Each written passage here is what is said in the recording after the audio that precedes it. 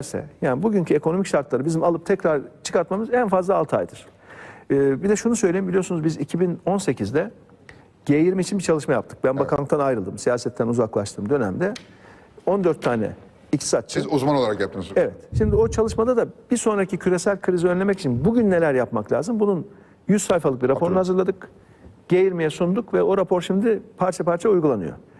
Dolayısıyla sadece Türkiye'de değil, yani dünyada da krizlerin analizini yapan, tekrar dünyada da kriz çıkmasın diyen, mevcut krizlerin nasıl çözüleceğiyle ilgili rapor hazırlayan uluslararası 14 kişilik uzmanlar Birisiniz, heyetinin biliyorum. birisi de bendim. O, o süreci Hala biliyorsunuz. o toplantıda katılıyorsun değil mi artık siyaset? O, o bitti çünkü biz raporumuzu hazırladık. G20'ye sunduk. Reçete budur dedik. Bunu uygulayın dedik. G20 ama nedir? Türkiye'nin de içinde bulunduğu dünyanın en büyük 20 ekonomisidir yani.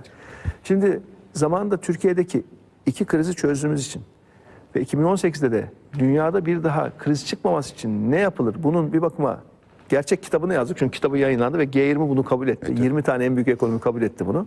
Türkiye artık G20'de değil galiba değil mi? e, 21. ekonomiyiz şu anda ama hala G20 üyesiyiz. Üyesiyiz, evet. Hala